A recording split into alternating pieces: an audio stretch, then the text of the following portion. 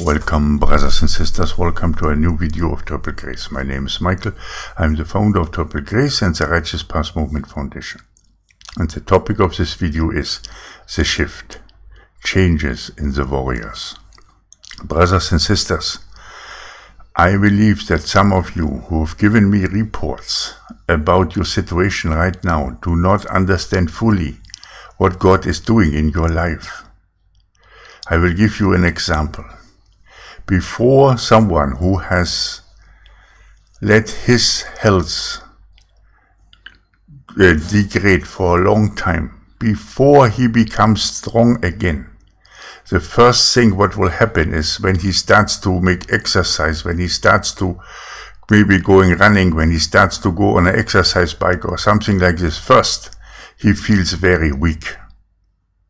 That is because the body is emptying out of all the toxins that are there. The body is not understanding after all this time of quiet. Now there is some action and that makes him first weak. But that is only for a short period of time. Once that weakness is over, the body catches on and he becomes stronger by the day. Therefore, brothers and sisters, keep calm. God will shift in your favor. The same for a butterfly. First, he will become very weak, almost dying in the state where he become a cocoon. And then inside the cocoon it becomes stronger and stronger and stronger. And when it then really opens up, that wonderful, beautiful butterfly will emerge. It's a time of shifting. And it is no wonder that just over the weekend in my closet, I found a very beautiful butterfly.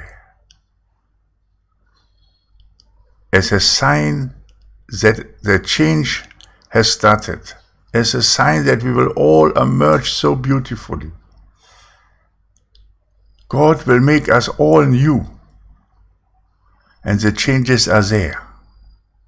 Some of you are already past this weak, weak uh, phase and they are starting to get stronger. Others are shining with the light and others are still weak and say, oh, I'm so weak, I will not make it. Oh, yes, you will. The world will be taken out of you and so very soon you are part of the kingdom and part of New Zion. This must happen just before the portal opens. I have told you that the, that the Lord will empty you out so that he can fill you with a new. And that will bring weakness to your body. Because your body is used to the world, to this comfort, to all this, but everything will change now and you need strength. And that will come through weakness. Weakness first, then strength will be built up. So, brothers and sisters, when you experience either suddenly heat strokes on your body, suddenly weakness, suddenly this, and you don't know what is going on, then know and understand that the Lord is working in your favor. He is shifting you. As He is shifting a butterfly from a caterpillar to this wonderful creation that He has made you will come out as a new being, as a new person, as a son of God. Let all the weaknesses disappear from our body. Give us the strength, Lord, so that we can stand for your kingdom. No one will succumb to this weakness. Everyone will be strengthened. It might take a bit of time, a little bit of time. Because we are all comfort creatures and we have all slept for too long and slumbered for too long. But now we are waking up and we become strong again, and we will be standing for the kingdom in the will of the Father as He has always predestined us. And this will begin with a weak period. For me, the same. There are days when I'm full of power and everything. Then there are days when I'm weak. I understand that all this of the world has to come out, and it will. When the portal opens, we will all be ready to be taken into our destiny and purpose. When the portal opens, the Lord will have emptied us out, and the light that will come through his mighty hand that will come through the portal will then fill us with anew.